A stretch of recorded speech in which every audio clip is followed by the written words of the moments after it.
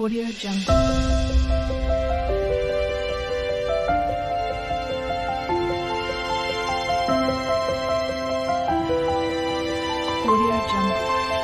Hi అండి శ్రీనివాసం నుంచి నేను పార్థని. అందరికీ రాబోయే అక్షయ తృతీయ యొక్క శుభాకాంక్షలు. భారతీయ పండుగలలో అక్షయ తృతీయ పర్వదినానికి ప్రత్యేక స్థానం ఉంది. ఈ పండుగను వైశాఖ శుద్ధ తదియను హిందువులు జైనులు కూడా జరుపుకుంటారు. శివయ్య అనుగ్రహంతో కుబేరుడు సంపదలకు రక్షకుడిగా నియమితుడయ్యారని ఆ నియమితుడైన రోజునే మహాలక్ష్మిని శ్రీహరి వివాహం చేసుకున్న శుభదినంగా పేరుంది. ఈ రోజు లక్ష్మీదేవిని బంగారంతో అలంకరించి పూజిస్తే ఇల్లు సిరి సంపదలతో కలకల్లాడుతుందని భక్తులు నమ్మకం. అన్ అంతేకాకుండా ఈ రోజున చేసే యజ్ఞ యాగాది క్రతువులు పూజలు జపాలు దివ్యమైన ఫలితాలు ఇస్తాయని నమ్మకం. ఈ విషయాన్ని పార్వతీదేవికి శివుడు చెప్పినట్లుగా మత్స్యపురాణం ఉంది. ఈ రోజున దాన ధర్మాలు చేస్తే అద్భుతమైన ఫలము సిద్ధిస్తుందని నారద పురాణం చెబుతోంది. ఈ అక్షయ తృతీయ రోజు లక్ష్మీదేవితో పాటు కుబేరుని కూడా పూజించాలి. ఇలా పూజించడం వల్ల మీ ఇంట సిరి సంపదలకు కొదివే ఉండదు డబ్బుకు లోటు ఉండదని చెప్తారు.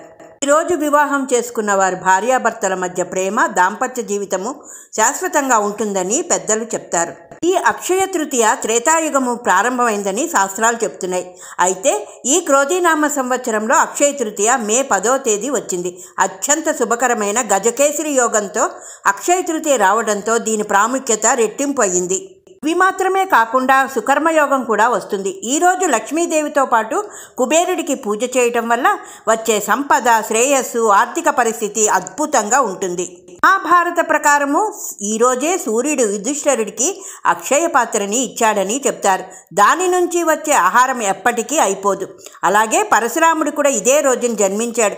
అందుకే ఆయన్ని చిరంజీవి అని కూడా అంటారు. అక్షయ తృతీయని చిరంజీవి తిది అని కూడా అంటారు. కుబేరుడికి స్వర్గము సంపదకు సంబంధించిన బాధ్యతలు అప్పగించింది కూడా ఈరోజే అక్షయం అంటే తరిగిపోకుండా క్షీణించకుండా శాశ్వతంగా ఉండేది. అందువల్లే ఈరోజు ప్రతి ఒక్కరూ ఆభరణాలు స్థలాలు గృహాలు నిర్మించుకోవడం చేస్తారు. సాధారణంగా బంగారం అనేది అలంకరణ చేసుకోవడానికి మాత్రమే కాకుండా మన అవసరాలకు తగ్గట్టు ఉపయోగపడే వస్తువు. అంటే ఆర్థికంగా ఏవైనా పరిస్థితులు ఎదుర్కొన్నప్పుడు ఈ బంగారం ఉపయోగపడుతుంది. అందుకే అక్షయ తృతీయ రోజు దీనిని కొనడం వల్ల అదృష్టం కలిసి వస్తుందని ప్రతి ఒక్కరూ విశ్వసిస్తారు. ఈ రోజుతో ముడిపడి ఉన్న మరొక సంఘటన ఏమిటంటే సుధాముడు తన చిన్ననాటి స్నేహితుడైన శ్రీకృష్ణుని ద్వారకలో సందర్శించినప్పుడు అతను అపరిమితమైన సంపదను వరంగా పొందాడు.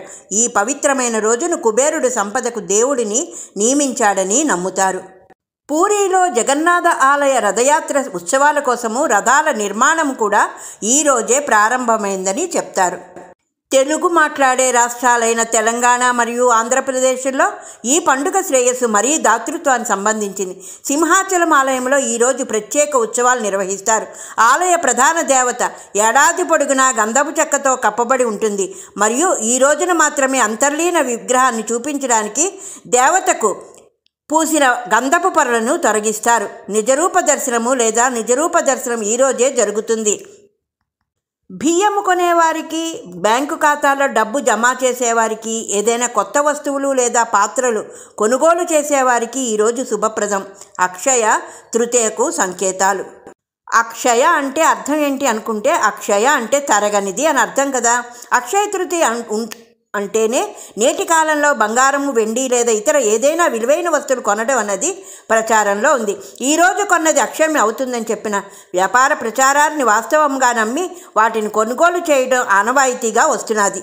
అక్షయ తృతీయ రోజు దాన ధర్మాలు కూడా చాలా ముఖ్యమండి.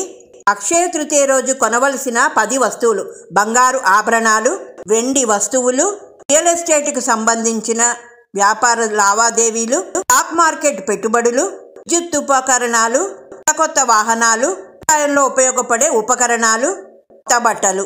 ఇలాంటివన్నీ కూడా అక్షయ తృతీయ రోజు అందరూ కొంటారు. అక్షయ తృతీయ రోజు ధనవంతులు కావాలని మీరు అనుకుంటే మీరు ఈ పనులు చేయండి. చందనము చందన అక్షింతలు దూర్వ కమలగట్ట సెంటు లవంగాలు యాలకులు తమలపాకు కొత్తిమీర పండ్లు పూలు మొదలైన వాటిని సమర్పించాలి. తర్వాత కుబేర చాలీసా పఠించాలి. ఇలా చేయడం వల్ల సంపదలు పెరుగుతాయి. సంపదని పొందేటందుకు అక్షయ తృతీయ నాడు కుబేర యంత్రాన్ని పూజించి దాన్ని భద్రపరచుకోవాలి. ఇలా చేస్తే మీ జీవితంలో సంపద ఎప్పటికీ కరిగిపోదు. ఇంట్లో డబ్బు ఎప్పుడూ నిండుగా ఉంటుంది. ఓం శ్రీం ఓం హ్రీం ఓం శ్రీం క్లీం విత్తేశ్వరాయ నమ.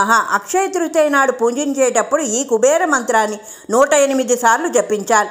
బారాళిని కొనుగోలు చేసి పూజా సమయంలో కుబేరుడికి సమర్పించాలి. హృదయపూర్వకంగా మంత్రాన్ని పఠించడం వల్ల జీవితంలోని కష్టాలన్నీ దూరమై కీర్తి ప్రతిష్టలు పెరుగుతాయి.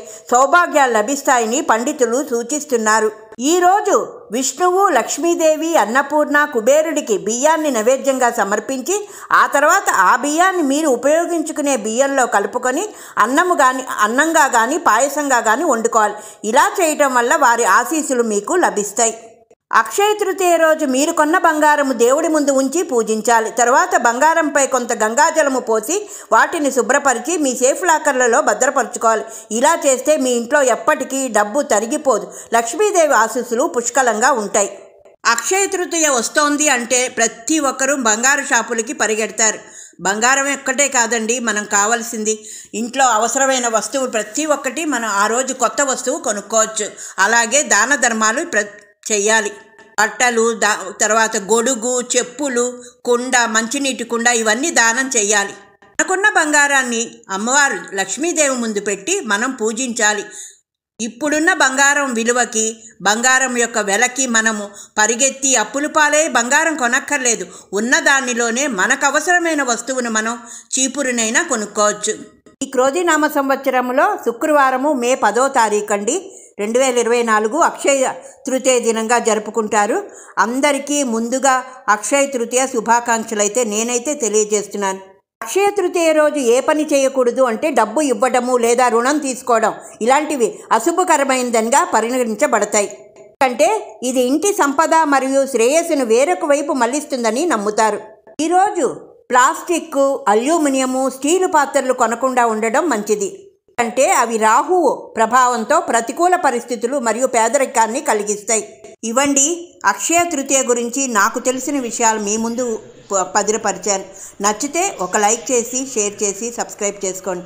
సింహాచలంలో అప్పన్నకి చందనోత్సవం వైభోగం మొదలైందండి. చందనం అరగదీయడం వారం ఏకాదశి పర్వదినాన్ని పునస్కరించుకొని తెల్లవారుజాము నుంచే చందనం అరగతీత మొదలైంది. ఆ ఛానల్లోకి వచ్చి వీడియో చూసి నచ్చితే ఒక లైక్ షేరు సబ్స్క్రైబ్. మరొక కొత్త అంశంతో మళ్ళీ మీ ముందుకైతే నేను రావడానికి ప్రయత్నం చేస్తాను.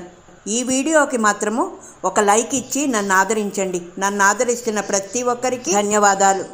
అందరము అక్షయ తృతీయ గురించి ఎదురు చూద్దాం. అక్షయ తృతీయ శుభాకాంక్షలు.